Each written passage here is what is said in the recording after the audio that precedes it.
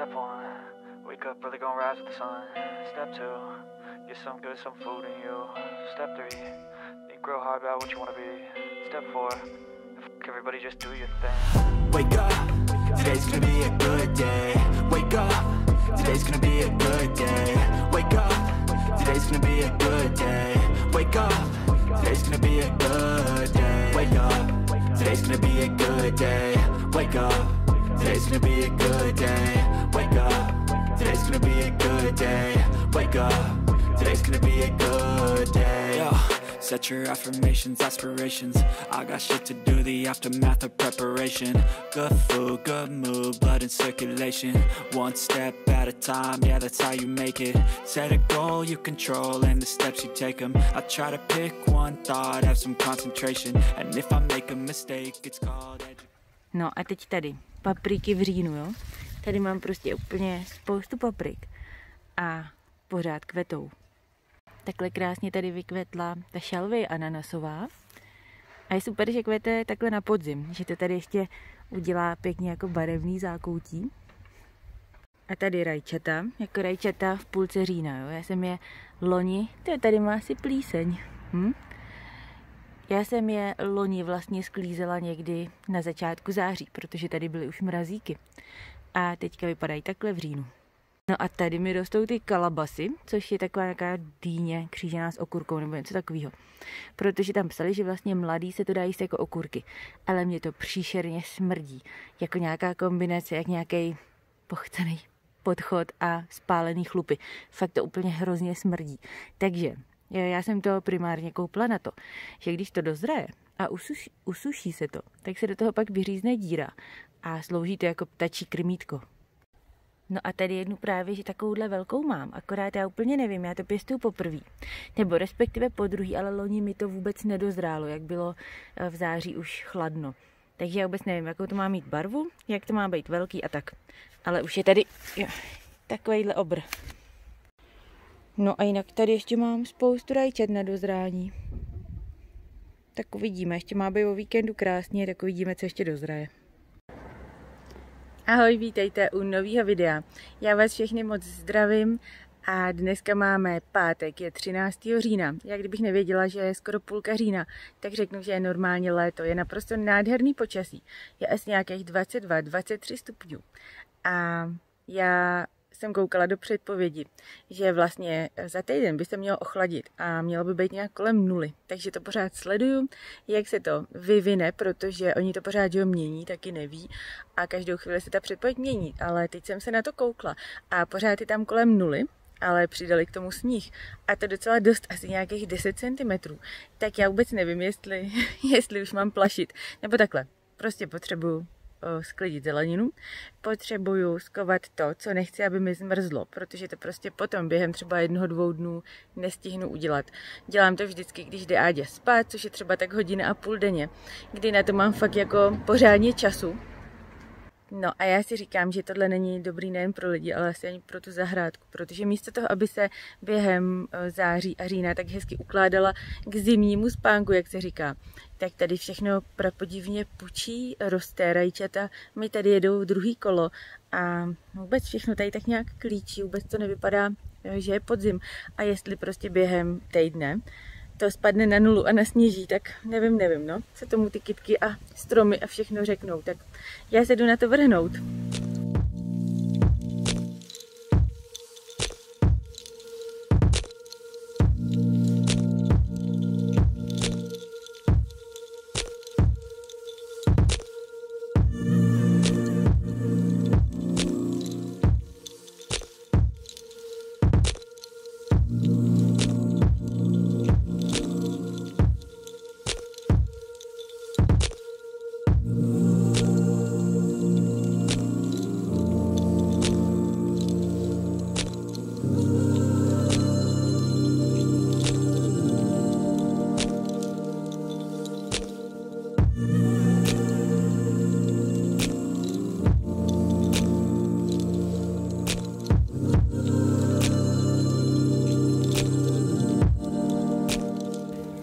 Tak tady jsou naše dvě kalabasy, neboli ty ptačí dýně, z kterých by po vyschnutí vlastně mělo jít udělat ptačí krmítko, protože oni by měli být potom dutý. Akorát, že mě je takhle uzrali poprvé a já úplně nevím, Mhm. jestli teda jsou zdralí, protože jsou takhle zelený, ale na tom obalu byly zelený, tak snad aspoň ta velká třeba dozraje, Jo, nebo doschne ještě. jo.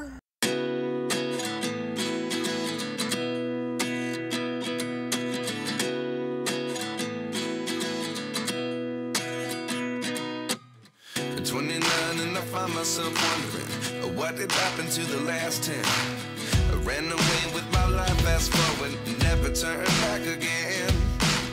It's kind of funny that the more we pass time, the more we need to set rewind. No a takhle nám tedy zmizely záhonky. Tady byly rajčata, všechna zelenina, takže tamhle vlastně, tady jsem nechala ještě porek, tamhle nějaká halda na spálení, mrkev a tady jsou nějaký bylinky a kadeřávek, to tady bude zůstávat. Ale jinak jsem to teda takhle sklidila všechno.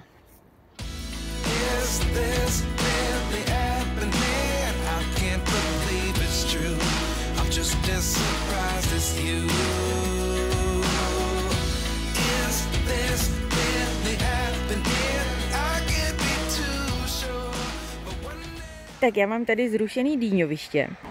Jak je ta slunečnice, tak tady vejvaly tak tři brázdy brambor asi.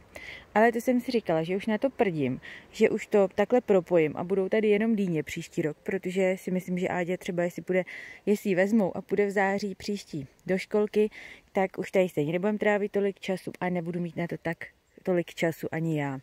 Takže to už mám hotový. Tamhle mám hromadu hnoje a ten se může zarejt, až bude ještě větší zima.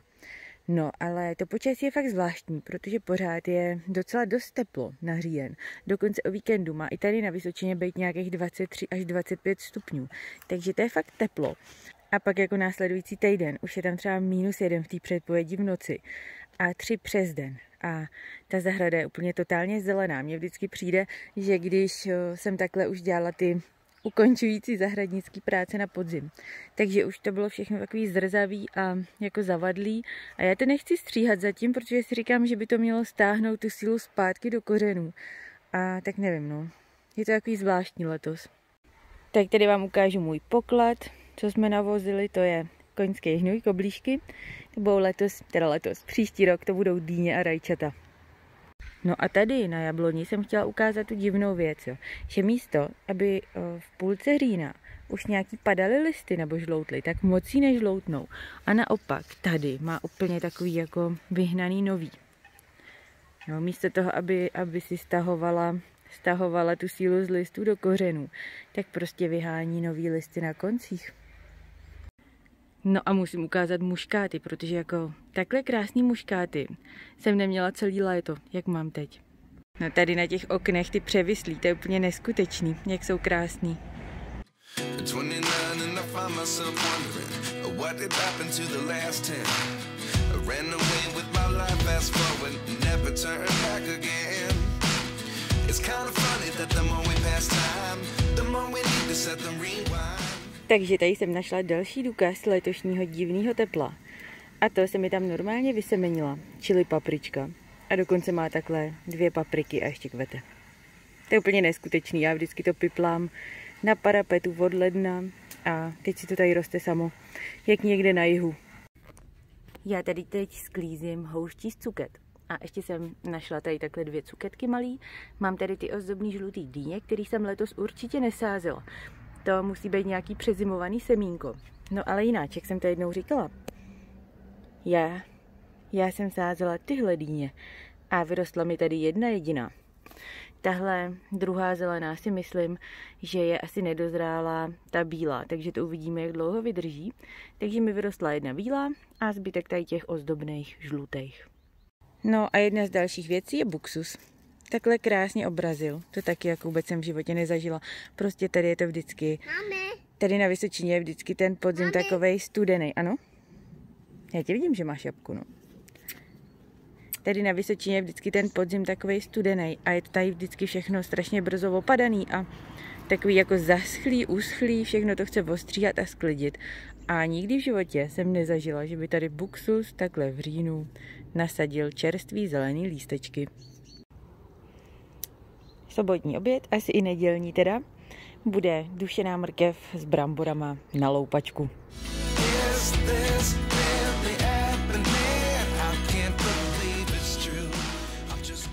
Další taková zvláštní věc, čeho jsem si tady všimla, tak je uh, to, co tady vyhazuje šeřík.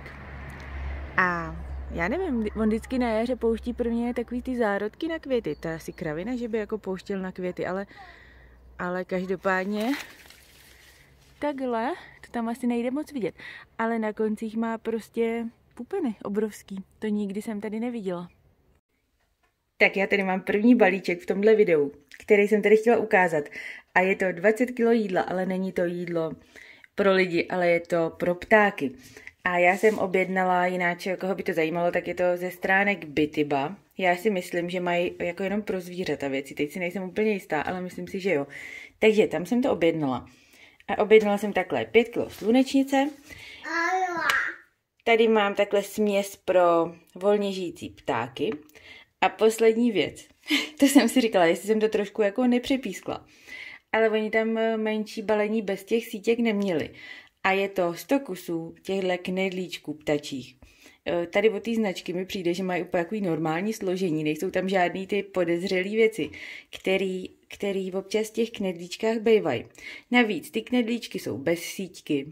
Ta síťka by se neměla používat z toho důvodu, že vlastně ten ptáček, eh, jinak já jsem to taky dřív používala, jsem to nevěděla, ale pak jsem se před pár lety dozvěděla, že ten ptáček si v tom může chytit drápek a vlastně se vlastně na tom umře pak na té síťce zamotaný. Takže je lepší kupovat takhle ty knedlíčky, já už jsem to otevřela, takhle ty knedlíčky bez síťky. No a tehle 100 kusů stálo 350, 349 korun, takže jeden vycházel na 350. A já jsem se dneska schválně dívala v jednotě, když jsem byla pro chleba, že tam mají zrovna v akci a jeden stojí 9,90 a je v síťce, kterou bych stejně sundala a vyhodila a zvlášť balený v igelitu. Takže mi to takhle přišlo jako super, já je tady mm, tím hodně krmím. Takže je to sice úplně extrémní množství, ale ve finále si myslím, že mám takhle za 350 korun 100 knedlíčků a kdybych je kupovala po jednom, tak za to určitě těch 350 korun dám. Dám taky. Budu mít navíc spoustu plastů, spoustu sítěk, spoustu obalů a budu mít těch knedlíčků třeba třetinu za ty peníze. Takže jsem takhle nakoupila takovýhle obří množství ptačích knedlíčků. A máme tady nákupy číslo 2, druhou část, a to jsou sekáčové úlovky pro Áďu. Já tady mám takovouhle obrovskou krabici. Jestli si to dobře pamatuju, tak je to 16 kousků. A těchto 16 kousků mě přišlo na 1500 korun, takže si myslím, že úplně super cena, protože tam mám i zimní bundu, mám tam kabát a právě, že ten kabát bylo to, proč já jsem občas takhle na ty sekáče ještě koukala. Protože kdo si pamatuje Ádi sekáčový kabátek hnědej z loňského roku, tak já jsem chtěla jí ulovit něco podobného, něco i takového k šatům, No a začnu takovýma mín zajímavýma věcma a to jsou troje kalhoty. Musím říct, že ty věci jsou zase všechny jako nový, až na dva kousky. A jeden z nich jsou tyhle kalhoty, nevím, jestli to jde dobře vidět, ale mají trošku už mouraný kolena, možná to bude vyprat, uvidíme. Dál tady mám takhle tři trička, nebo spíš dvě trička a jedno zavinovací bodíčko. Dál tady mám takhle dva overaly, jeden je bavlněný, druhý je jako flísový nebo takový hodně teplej. Další věc je mikina s Pepou. Mně se to hrozně líbilo, protože většinou ty věci, kde je prasátko Pepa, tak jsou takový divoký, barevný, kolikrát nějaký flitry na tom jsou a lesklý věci. A tahle se mi líbí, že je taková decentní, ale zároveň je veselá a barevná. No a tahle mikina, na ní je teda trošku asi vidět, že už byla víc nošená, nebo nevím. Je taková jako pevná, vůbec, vůbec uh, není natahovací. Tady z toho kousku oblečení měla Áďa radost úplně největší. A jsou to plavky. Já jsem ji je vzala, když se budeme teď za pár dnů vracet domů, tak kdybychom třeba šli do bazénu, tak ať má plavky. Áďa, když je viděla, tak si je hned vzala na sebe. Za chvíli vám ukážu, čím to ještě doplnila. A chtěla jít do jednoty takhle oblečená. No, já ji mám teď koukám v obráceně, patří takhle, Tak a tohle je ten módní kousek, kterým Áďa doplnila plavky a chtěla jít do jednoty. A to je čepice. Já z ní mám strašnou radost, protože je fakt pěkná. Ze předu vypadá takhle, ze strany teda má, uh, psali tam, že to je jednorožec, mě to spíš připomíná, já nevím, nějakého dinosaura. Střídají se tady takhle chlupatý, takový trny nebo rohy s takovýhlema růžovo-zlatýma. Tady ta výšivka, uh, tyhle ty kolečka, plus takhle okraj, tak to je taky zlatou nití. No a jako, jo, ta čepice jí perfektně sedí a prostě s tím mám fakt radost. Další kousek je tenhle svetr, nebo svetrový kabátek, protože si myslím, že je tak teplej, že klidně, když bude sucho, tak ho může nosit ke kalhotům prostě jako vrchní kabátek. A je s norským vzorem, myslím, že se tomu dá říct norský vzor, a ještě je takový prošívaný růžovou lesklou nitkou. To nevím, jestli bude vidět. A takhle kolem krku má zase umělej kožíšek chlupatej a vevnitř je flísový, takže je fakt teplej. Jako další, tady je tenhle kabátek, nebo psali tam kabátek a mm, podle mě jako je to spíš jako ve stylu mikči, která je ušitá takhle jako do tvaru kabátku, protože to je z teplákoviny. No a mám tady další parádní kousek a to je tenhle svetr, nebo spíš svetrošaty, protože je to docela dlouhý takže prostě já nevím, k černým punčocháčům eh, nebo legínám, tak si to bude moct vzít i jako šaty a hrozně se mi líbila ta barevná kombinace. Je to takový veselý. Tak jdem pomalu do finále. Mám tady zimní bundu.